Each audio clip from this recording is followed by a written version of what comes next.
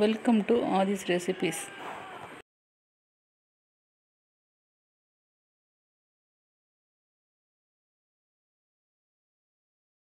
hey friends இன்றைக்கி தண்டுக்கீரை சாம்பாரும் சேனக்கிழங்கு வறுவலும் எப்படி செய்யுதுன்னு பார்ப்போம் வாங்க. தண்டுக்கீரை சாம்பாருக்கு பருப்பு வேக வச்சு பருப்பில் வந்து நல்லெண்ணெய் மஞ்சளும் மஞ்சத்தூளும் போட்டு வேக வச்சு அதில் வந்து எடுத்துட்டு அந்த தண்ணியை ரசத்துக்கு எடுத்துட்டேன். இந்த பருப்பில் வந்து ரெண்டு ஸ்பூன் மிளகாத்தூள் ஒரு ஸ்பூன் மல்லித்தூள் தேவையான உப்பு போட்டேன் இது நல்லா கொதிக்கட்டும். இதில் கொஞ்சம் தேங்காய் துருவல் சேர்த்துக்கலாம். இது நல்லா கொதித்து அந்த பச்சை வாசம் போன பிறகு கீரையை போட்டால் போதும். கீரை வந்து கொஞ்ச நேரம் வெந்தால் போதும். சீக்கிரம் வெந்துடும் கீரையை போட்டு ஒரு மூணு நிமிஷத்தில் தாளிச்சிடலாம்.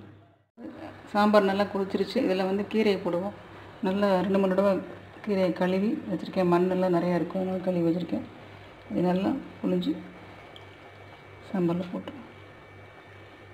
போட்டுட்டு ஒரு அஞ்சு நிமிஷம் இருந்தால் போதும். கீரை சீக்கிரம் வந்துடும் இதுக்கு புளி ஊற்றக்கூடாது கீரைக்கு புளி ஊற்றக்கூடாது தக்காளி வேணால் போட்டுக்கலாம். ஆனால் டேஸ்ட் கொஞ்சம் மாறும். அதனால் நான் தக்காளி போடலை. இது கொஞ்சம் வெந்ததையும் தாளிச்சிடலாம் அவ்வளோதான் தண்டு கீரை வெந்துருச்சு. இனி தாளிச்சிருக்கோம் சாம்பார் தாளிச்சிடலாம்.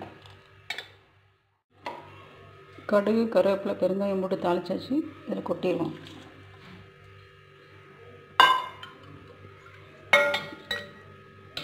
தண்டுக்கீரை சாம்பார் ரெடி.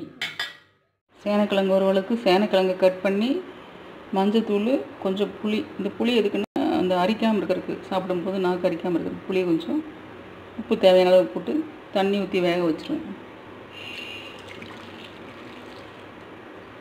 மூடி போட்டு வேக வச்சிருவேன் சேனைக்கிழங்கு வேக வச்சு எடுத்து வச்சுருக்கேன். மஞ்சத்தூள் புளியும் உப்பும் போட்டு வேக வச்சு எடுத்து வச்சுருக்கேன்.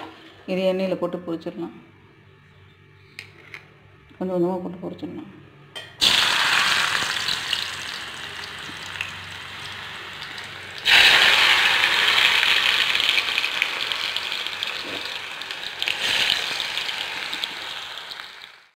சேனக்கிழங்கு பாதி அளவுக்கு ஃப்ரை பண்ணியாச்சு. ரொம்பலாம் ஃப்ரை ஆக மாட்டேன் இந்தளவு ஃப்ரை ஆனால் போதும்.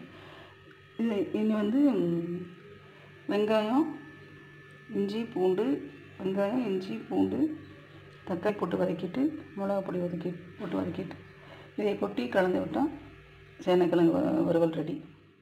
பொறிச்சு அந்த பாத்திரத்துலேயே கொஞ்சம் எண்ணெயை இப்படி வச்சுட்டு இந்த சீரகத்தை போட்டு பொறிஞ்சடியும் வெங்காயத்தை போட்டுருவோம்.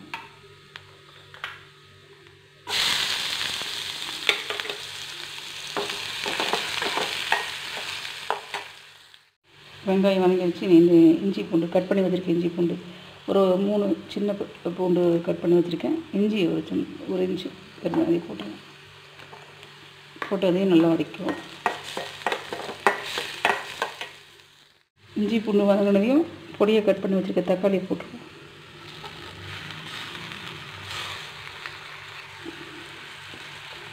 இது நல்லா வதங்கட்டும்.